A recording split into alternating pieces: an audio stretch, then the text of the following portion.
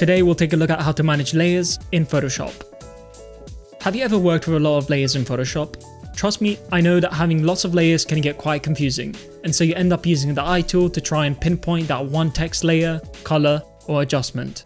Be confused no more because the solution has been in front of you the entire time, and chances are that you haven't used it yet. In the layers panel, you have a drop down menu that by default is set to kind, and you also have these 5 icons, as well as a toggle button on the right.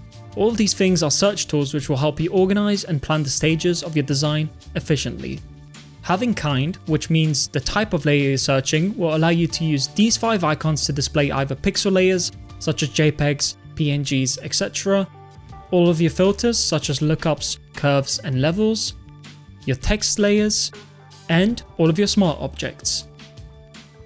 Notice the toggle button on the right hand side which can be turned off or on with whatever icon you have selected at the moment, which helps with workflow. Of course, you can have multiple kinds of files showing if you need to. The second option is to search by name, and this is possible when you keep track of your layers in this way.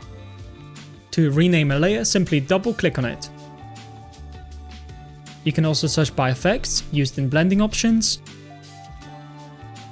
blending modes, attributes such as if the layer is locked, visible or hidden, color, if for example you choose to color code your background layers in red. This can be done by right clicking on any layer and selecting the colors available. Smart object types, active selected areas, and finally artboards. By using a combination of groups, layer names, color coding, and filtering, not only will you save yourself time, but you also appear professional in front of your client if they request revisions. And this was Design Dummy.